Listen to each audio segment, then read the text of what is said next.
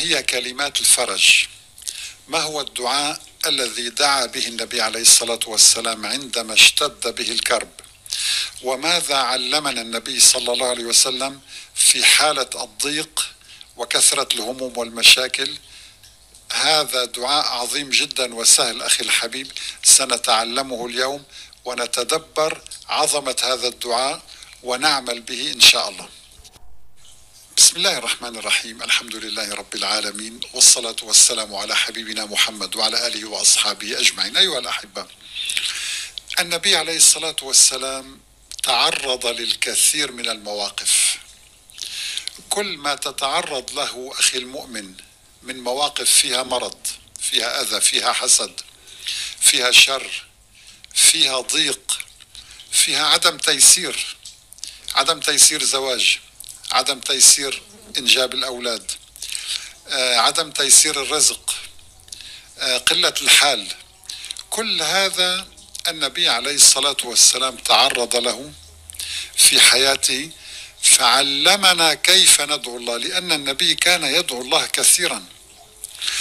والنبي صلى الله عليه وسلم عندما يحدثنا عن دعاء ويسميه كلمات الفرج معنى ذلك أن هذه الكلمات يجب على كل مؤمن أن يحفظها مثل اسمي ويدعو بها حتى في حالة الرخاء. يعني لا تنتظر حتى تصيبك الشدة لتلجأ إلى الله. لا كل يوم التجأ إلى الله بهذا الدعاء. انظر أخي الحبيب هذا الدعاء كله وحدانية لله توحيد. أن تشعر بعظمة الخالق ووحدانيته وتفرده في الكون.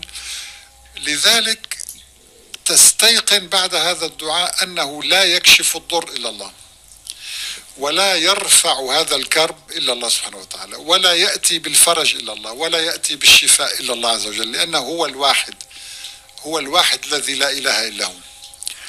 الدعاء كما يلي أخي الحبيب احفظ رجاءً. لا إله إلا الله العليم الحليم. أنا اليوم سأحفظك هذا الدعاء لأن معظمنا كما قلنا يمر على المقاطع وينساها. لا نريد أن نحفظ. لا إله إلا الله العليم الحليم. حليم على عباده. عليم بهمومهم. يعني كأنك عندما تقول لا إله إلا الله العليم الحليم يا رب أنت عليم بشأني عليم بضيق حالي عليم بحزني عليم بما فقدت عليم بما سيأتي. وحليم أنت حليم على عبادك وتعطي كل ذي حق حقه. إذا لا إله إلا الله العليم الحليم. لا إله إلا الله رب العرش العظيم. يجب أن تتخيل وانت تقول لا إله إلا الله رب العرش العظيم. أن السيطرة في هذا الكون لله التصرف للملك عز وجل الذي لا إله إلا هو. لا أحد يستطيع أن يضرك أن يضرك أخي الحبيب ما دام الله موجودا إلا ما الله, كتبه الله عليك ولمصلحتك أنت. ولا يستطيع أحد أن يذهب عنك الشر أو المرض إلا الله عز وجل وبما كتبه عليك أيضا. هذا الملك هو رب العرش العظيم كوننا كله. كم كم يساوي أمام عرش الرحمن؟ ولا شيء ذرة. فتخيل إذا كان الكون بمجراته بنجومه. تريليونات من الكيلومترات مساحات هائلة في الكون. كل هذا الكون ما هو إلا ذرة أمام عرش الرحمن. فعندما تقول لا إله إلا الله رب العرش العظيم أي أن الله هو الملك هو أعظم من أي هم أعظم من أي كرب عصف بي وقادر أن يفرج هذا الكرب وقادر أن ييسر هذا الطلب من الله. زواج متعسر ييسره الله. رزق متعسر ييسره الله. كل شيء كل ما تتخيل أخي الحبيب المهم أن تثق بهذا الإله العظيم لأن نبينا وثق به.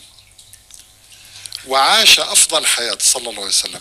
الجزء الثالث لا إله إلا الله رب السماوات ورب الأرض رب العرش الكريم. ليس هناك أكرم من الله. لا تتخيل أن يأتي أحد ليكرمك أكثر من الله.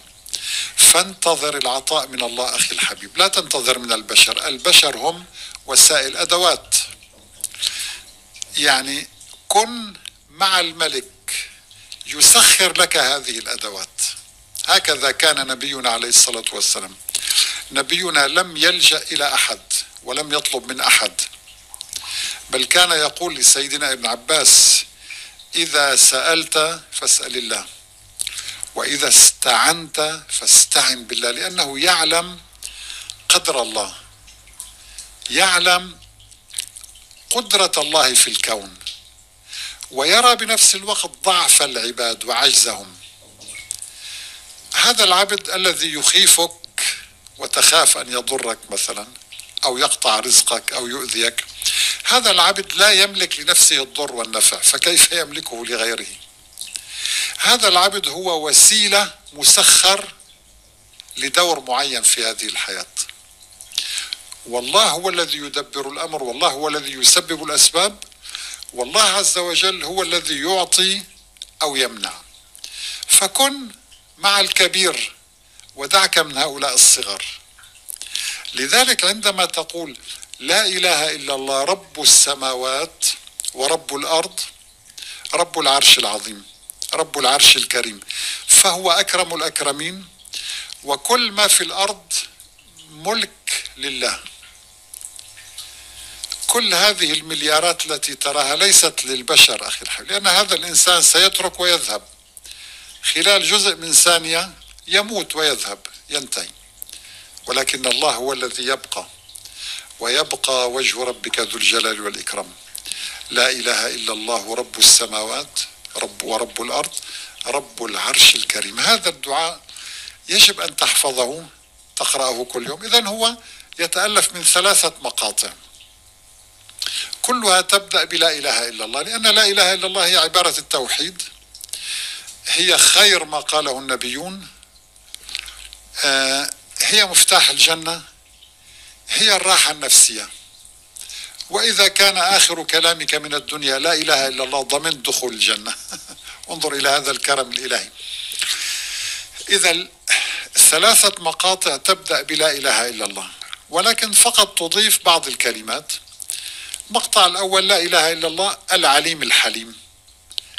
يعني ابدأ بالعليم لأن لأنك تريد أن تشكو وضعك لله. يعني لا داعي أن تقول يا رب يسر لي أمر كذا كذا كذا أو أبعد عني شر فلان أو لا. هو العليم. ابدأ بهذا الدعاء. لا إله إلا الله العليم الحليم هو عليم بحالي وحليم بعباده خبير بهم. لا إله إلا الله رب العرش العظيم. سهل يعني سهل جدا أتصور.